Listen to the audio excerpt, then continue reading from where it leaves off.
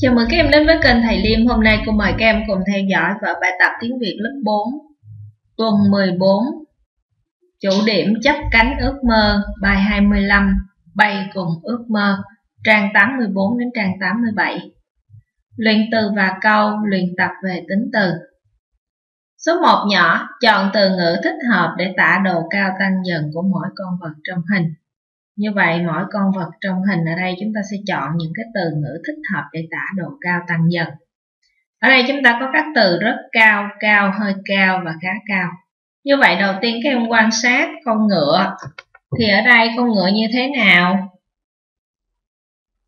Con ngựa thì cao. Rồi đến lạc đà. Lạc đà thì hơi, hơi cao.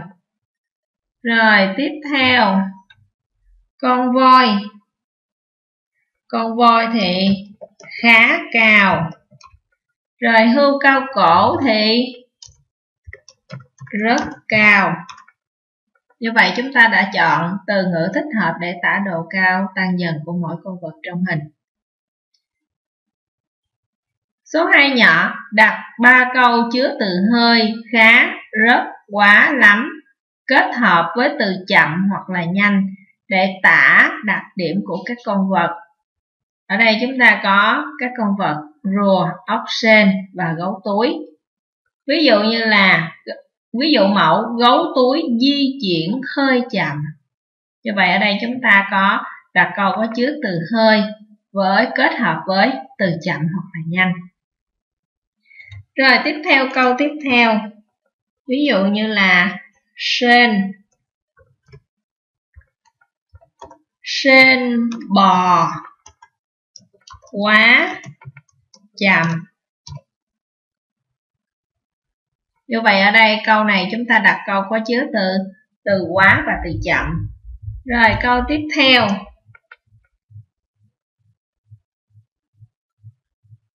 Chậm như chậm như rùa. Hoặc là ngựa phi. Ngựa phi, khá, nhanh.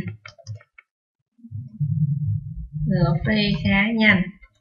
Thì câu này có chứa từ khá và từ nhanh. Rồi tiếp theo.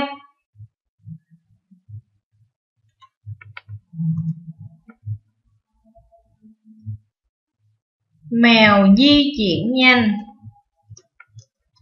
mèo, di chuyển. Mèo di chuyển. Nhanh. Nhanh quá. Rồi tiếp theo. Báo là loài động vật có tốc độ rất nhanh.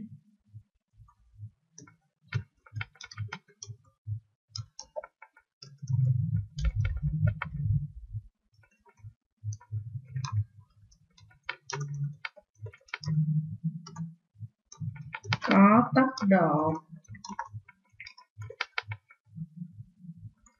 chạy rất nhanh.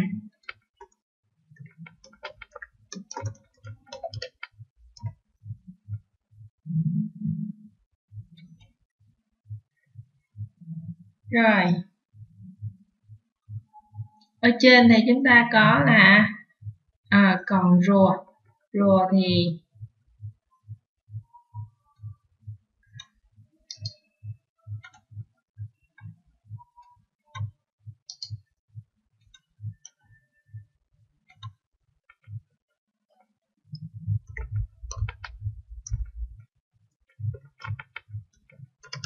chậm như rùa.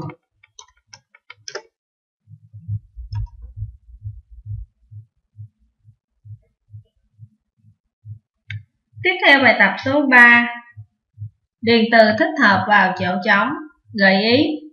Các từ được sắp xếp theo thức mức độ tăng dần về màu sắc từ trái sang phải. Ví dụ như là trắng, trăng trắng, trắng, trắng tinh, đo đỏ, đỏ, đỏ như thế nào? Đỏ rực. Như vậy chúng ta sẽ sắp xếp các từ theo mức độ tăng dần về màu sắc. Như vậy ở đây là đỏ. Đỏ rực. Rồi tiếp theo tím. Thì ở đây, phía trước sẽ là tím. Tím tím, rồi đến tím. Rồi tiếp theo là tím. Tím rệm tím lệm hoặc là tím rệm. Tiếp theo xanh. Thì mức độ đầu tiên đó là xanh. Xanh xanh rồi đến xanh và xanh. Xanh ngắt. Tiếp theo, bài tập số 4 chọn từ ngữ có thể thay thế cho từ ngữ in đậm trong đoạn văn. Chúng ta có các từ xanh xanh xanh biếc, vàng rực, vàng nhạt, trong veo, trong trong, chậm rãi, chậm chậm. Mặt trời vừa hé những tia nắng đầu ngày, thoáng chốc nắng đã bừng lên tỏa khắp nơi khiến vạn vật đều rất vàng. Như vậy các em chọn từ ngữ ở đây, ở trên đây để thay thế cho cái từ ngữ rất vàng này. Rất vàng theo màu nắng như vậy ở đây chúng ta có thể thay từ nào? Từ vàng, vàng rực theo màu nắng. Như vậy số 1 các em sẽ chọn là vàng, vàng rực. Rồi tiếp theo những đám mây trôi rất chậm trên bầu trời hơi xanh như dùng dần chờ gió đến đẩy đi như vậy rất chậm ở đây chúng ta sẽ thay từ là chậm chậm chậm. Những đám mây trôi chậm chậm. Trên nền trời, trên nền trời, xanh xanh xanh, như dùng dần chờ gió đến đẩy đi, như vậy số 2 các em sẽ chọn là từ chậm chậm. Rồi số 3 đó là xanh, xanh xanh. Tiếp theo chờ mãi gió không tới, mây lại đứng sôi mình xuống mặt hồ nước rất trong, phẳng lặng. Như vậy rất trong ở đây các em sẽ thay từ trong, trong vèo. Chờ mãi gió không tới, mây lại đứng soi mình xuống mặt hồ nước trong veo phẳng lặng. Rồi tiếp theo câu số 5 Gạch dưới từ ngữ không cùng loại trong mọi nhóm A. Cao cao, thâm thấp, bèo béo, hiền khô Như vậy, từ không cùng nhóm ở trong câu A đó là từ từ hiền khô B. Xanh mướt, vàng ống, to đùng, nâu sậm như vậy, từ không cùng loại ở câu B đó là từ to, to đùng. C. Thoang thoảng, cây xè, ngang ngát, nồng nồng. Như vậy, từ không cùng loại ở câu C đó là cây, cây xè.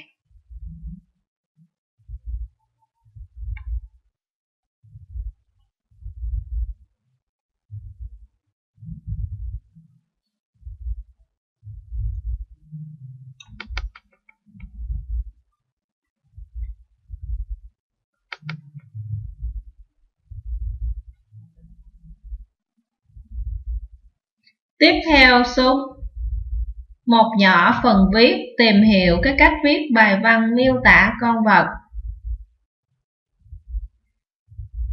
Một nhỏ đọc bài văn ở bài tập 1, sách học sinh tiếng Việt 4 tập 1 trang 112 và thực hiện yêu cầu.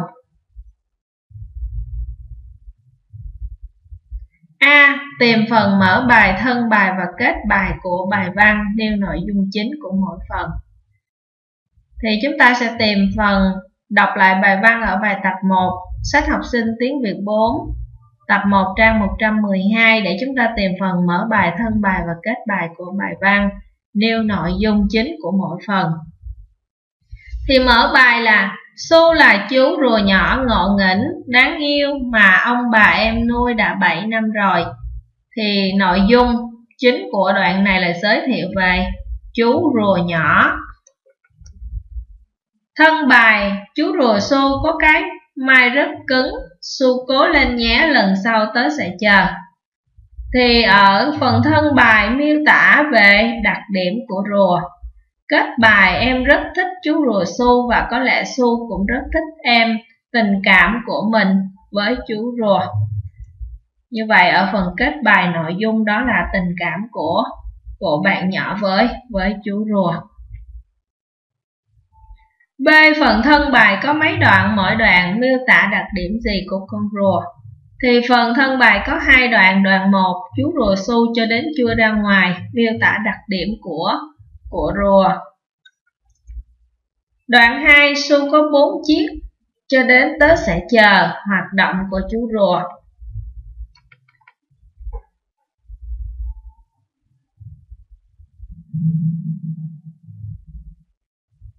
Số 2 nhỏ ghi lại những điểm khác nhau giữa hai cách mở bài và hai cách kết bài trong bài tập 2 sách học sinh tiếng Việt 4 tập 1 trang 113.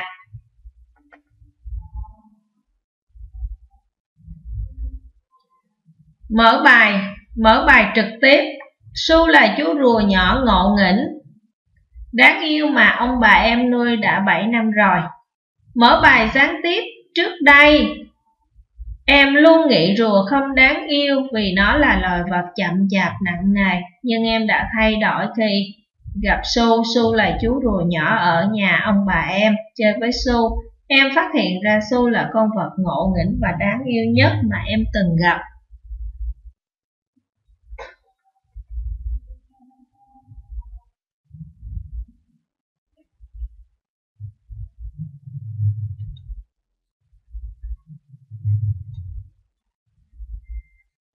Tiếp theo phần các bài, các bài mở rộng, em rất thích chú rùa su và có lẽ su là cũng rất thích em. các bài mở rộng, mỗi khi sang nhà, ông bà chơi em lại chăm sóc và chơi đùa với su. Từ ngày có su em thường tìm đọc sách báo về rùa, đá để hiểu hơn về su, su đúng là một người bạn thú vị.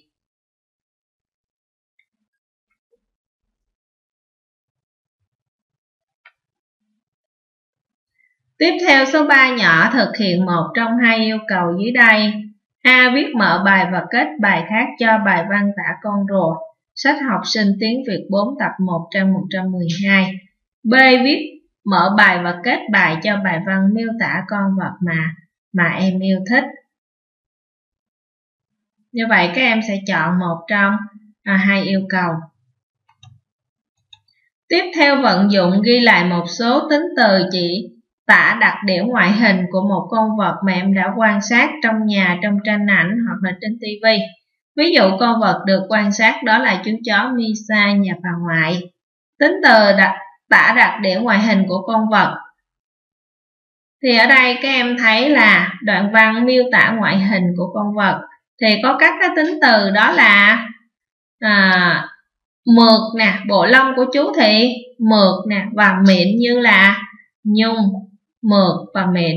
Hai cái lỗ tai của Misa thì nhọn, luôn vểnh lên nhìn rất đáng yêu, như để nghe ngóng mọi động tĩnh xung quanh mình. Misa rất thông minh và ngoan ngoãn chiếc mũi của chú ướt ướt luôn hết lên để đến hơi lạ. Chú ta có một hàm răng sắc.